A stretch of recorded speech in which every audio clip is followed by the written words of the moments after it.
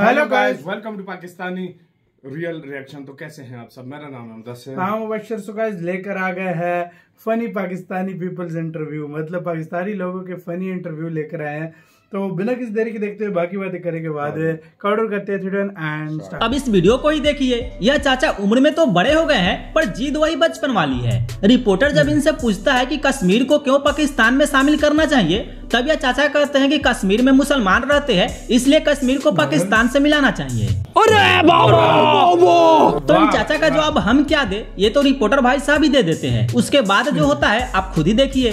कोई हमसे पूछ ही लेता है कोई इंडियन पूछ लेता है कि कश्मीर क्यों पाकिस्तान का हिस्सा होना चाहिए तो फिर हम क्या जवाब देंगे? अल्हम्दुलिल्लाह वो मुसलमान है मुसलमान भाई है। हमारा उनसे मुसलमान पाकिस्तान ने का तल्लक है? है सबका ना? ऐसे तो इंडिया के और भी बड़े हिस्से हैं जहाँ पे मुसलमान रहते हैं फिर वो भी पाकिस्तान का हाँ। हिस्सा हो जाए। नहीं ये बात नहीं है।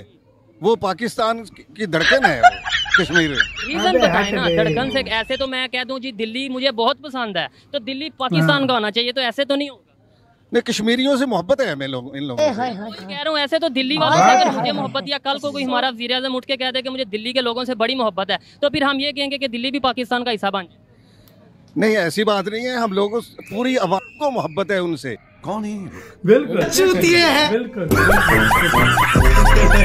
ओ भाई साहब यार कोई घर से बोल दिया ये कैसे कैसे वाह चाचा वाह आप तो बहुत जिद्दी निकले बे, पर आपकी बात से ये तो कंफर्म हो गया कि कश्मीर सही हाथों में है।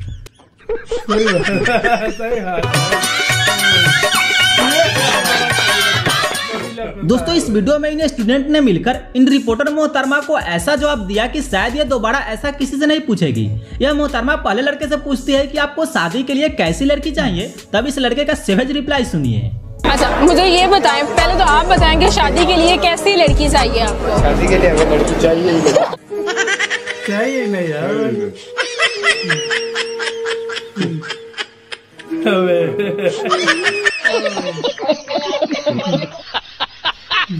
वाह अच्छा यूनिवर्सिटी में को पसंद नहीं आई है? नहीं आप जैसी तो मिली नहीं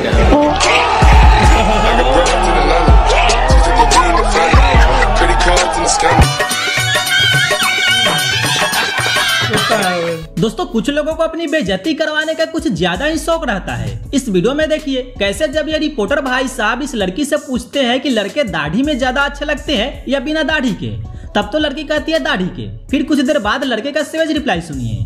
जो लड़के होते हैं क्या वो दाढ़ी में ज़्यादा अच्छे लगते हैं या वो दाढ़ी के बगैर अच्छे दाढ़ी में अच्छे लगते हैं। दाढ़ी के बगैर कैसे लगते हैं? दाढ़ी के बगैर आपके जैसे।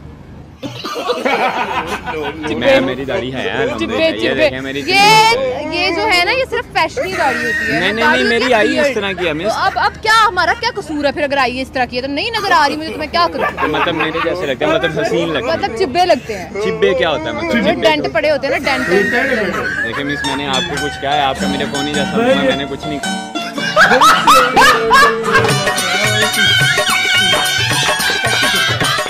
अब इन भाई साहब से मिलिए। इनसे यह रिपोर्टर मोहतरमा जब पूछती है कि उम्र तो काफ़ी हो गई है शेरी पालना है या फिर शादी भी करनी है तब ये जो जवाब देते हैं वो शायद ही आपने सोचा होगा। बाईस साल की उम्र ही होगी शेर ही पालना है या कोई शादी शुदी भी करनी है? शादी होगी आप नहीं शादी नहीं हुई। इस चीज़ से बच्चे पाल लिए हैं पहले। बच्चे पहले ही पाल लिए हैं और शादी के नाम से डर लगता है हमें। शेर को शेरों से डर नहीं लगता और शादी के नाम से डर लगता वैसे सही कहा भाई ने शादी से सिर्फ़ यही नहीं बल्कि दुनिया का हर आदमी डरता है। शेर को तो काबू में कर लेंगे पर बीबी को काबू में करना हर किसी के बस की बात नहीं है। अच्छा।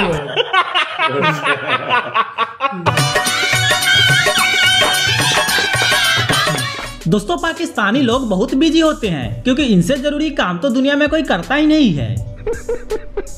अब इस वीडियो को ही देख लीजिए। यहाँ रिपोर्टर के साथ साथ इस इंटरव्यू देने वाले का दिमाग भी इस बछड़े के साथ घास चरने चला गया है। हम इसको लाली लगाएँगे इसके अच्छा ऐसी कोई डिमांड भी है कि मतलब मैं प्यारी लगूं? ये बड़े नखरे करती है ये जब भी आती है कहती है मेरा ये ठीक नहीं है मेरा वो ठीक नहीं है मेरी एक ज़्यादा रेड है एक पिंक है लाइट है ये बड़े नखरे करती है। मारो मुझे मारो मारो मुझे मारो।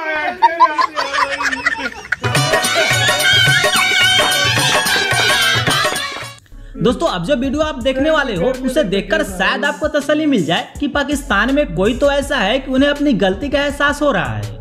प्लीज़ काइंडली कोई भी सेंसर्ड मत कीजिएगा। हाँ, मैं चाहता हूँ यकीन करें इंडिया वाले भी सुन रहे हैं। अगर तो उनमें से कोई है मुझे कमेंट में ज़रूर बताइएगा। आप बहुत एक खुशकिस्मत है। अगर आपने वो मुल्क नहीं छोड़ा था। अच्छा। मैं रात को अपने दोस्तों के साथ बैठ के ये बात कर रहा था मैं क्या बहन क्या ऐसा सीन बना कि मैं अम्मी से बोल रहा था मैं क्या अम्मी तुम उधर से उधर से क्यों आए क्यों तुम अच्छा आप इंडिया से माइग्रेट कर हाँ मैं से इंडिया से माइग्रेट करके आए मैं क्या उधर से आप आए क्यों?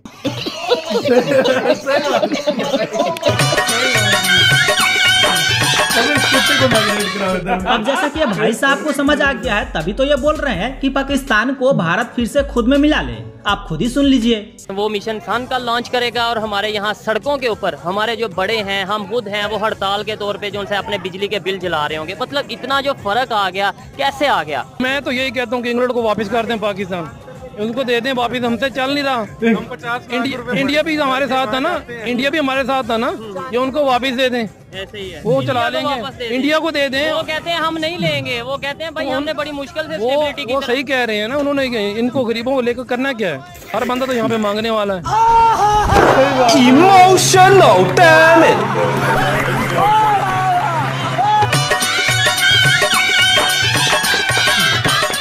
दोस्तों अगर आपसे कोई पाकिस्तानी जनाब ये आकर बोले कि पाकिस्तान भारत से काफ़ी आगे है तो आप उसे क्या कहेंगे? क्या? नहीं। क्या बोला तूने? नहीं पहले क्या बोला? चल।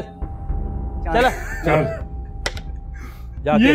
अब आपको जो कहना है इस वीडियो को देखने के बाद कमेंट में ज़रूर बताइएगा।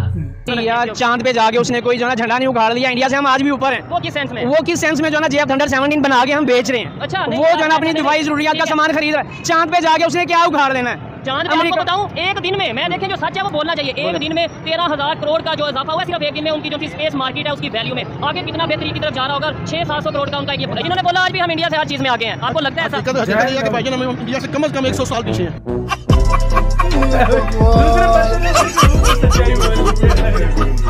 इसी के साथ यार वीडियो खाता भाई दूसरा बंदा मुँह के ऊपर उसके बोल गया है, हम सौ हाँ भाई।